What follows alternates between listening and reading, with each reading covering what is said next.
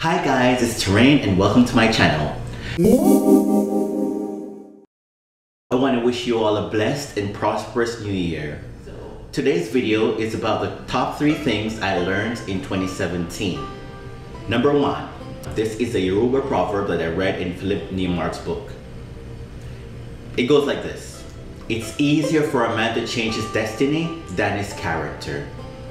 I repeat, it's easier for a man to change his destiny than his character. So what does this mean? This means that we are in control of our destiny. The Yoruba believe that before we come to earth, we choose our destiny. And while on earth, it's our responsibility to find what our destiny is, or some would say our calling. I know many of us are in bad situations, but just remember, you have the power to change that. I have the power to change that. And if you don't believe me, let's look at the designer Coco Chanel. She was orphaned at age 12 and sent to live at a monastery. And she famously said, my life didn't suit me, so I created my life. What did she do? She moved from an orphan to a seamstress to a chorus singer into, into this global superstar, this mega designer whose clothes are coveted to this day. Her emblem is one of the most recognizable emblems in fashion. She changed the world.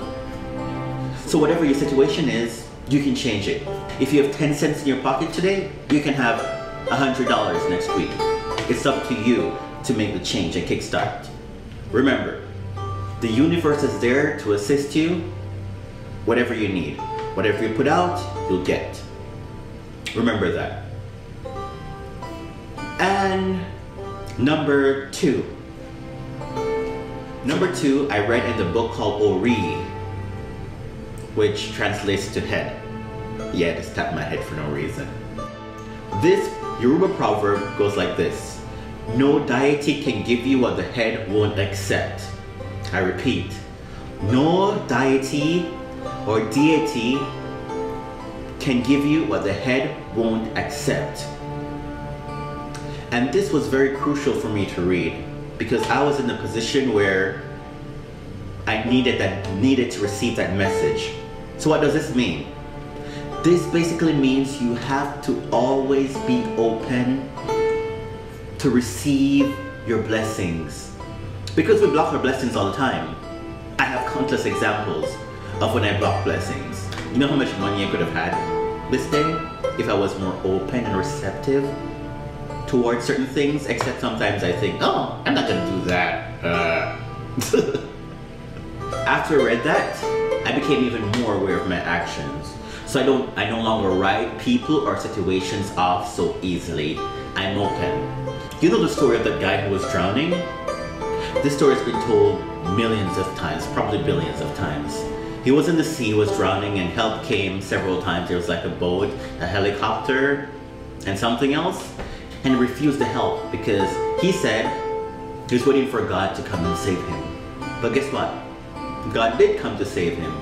He didn't come by himself, but he sent help. So we have to be open and more mindful. And I see women do this a lot. Not bashing women or anything, but I see women do this a lot. They always say, oh, I need a husband. But he should have no kids. He needs a six pack abs. He should have his own house. He should have a million dollar job. And he should be a really great person. But they meet the guy who is for them, but he has a child, doesn't have a car, doesn't own his own home, but he's on the journey to achieving all that. And then guess what? You shut him out. Then you sit and like, oh God, send me a husband every day. And you don't even realize what you're doing to yourself. So, always be open to receiving your blessings. Number three, I've learned how to trust my intuition. What do you want to call it instinct, the gut feeling, your higher self.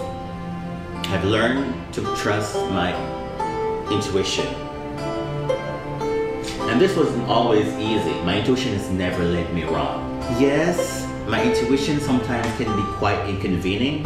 Like it inconveniences me sometimes, but it's for the best. This year, for sure, I learned to trust my intuition even more. See, I was in a situation where um, I had this really good friend, and we have a great relationship, right? There was no bad blood, nothing. But I started noticing some little tiny, minute things, which isn't a make or break, right? And my intuition was on me to end that friendship. And I couldn't bring myself to end it. Because who ends a good friendship for no reason, right? But after a month, because this lasted for a month, initially I thought, oh, maybe I'm just in the moment. But after a month of constantly being pounded with this, and this friendship, and this friendship, and this friendship, because I had no reason to end this friendship. And eventually I sat and I made a decision, I need to end this friendship. Because my intuition is being consistent here. So I did end up ending the friendship and put it lightly, it was for the best. There in that moment, I had no idea why, but later on I would realize that my intuition was saving me from future trouble and drama. Always learn to trust your intuition. Your intuition can save your life. Trust me on that. I know for some people their intuition is very cloudy, it's not clear, but just take some time to meditate, clear your mind, consciously breathe, and after a while it'll become more clear. You will know when your intuition is speaking to you and not just some random thoughts going through your head.